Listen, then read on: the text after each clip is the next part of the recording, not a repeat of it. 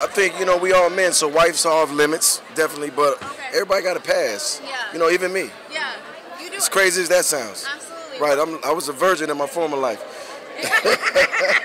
gonna be, they ain't even finna be able to use my name in that mother.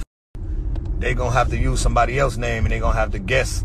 Or it's gonna be the person that's mother making everything happen. That'll probably be me and that's when it gets to the BMF part. Everything else is really Big Meech's life story. So they're gonna see Big Meech as a young dude or whatever. It should be a great program. One thing I can say about 50 Cent is that man puts together some great for us to sit down and watch after we didn't got money all day. And we can go sit and watch Power or BMF. Only thing I'm saying is if they handle my name wrong, everybody already know I'm coming to see you. So now play with it if y'all want. Uh, the, the writers, the producers, the directors, the executive producer, everybody. Y'all play with my name. I'm telling y'all right now. Y'all play with my name. It's up. Period. And there will be no more shooting that. There will be no more filming that.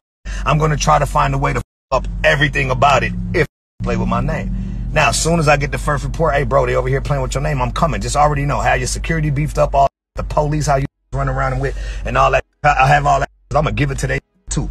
I ain't finna play with my name. I'm gonna go all the way out by my name. My kids not finna go through life with people playing with my name. That's a wrap.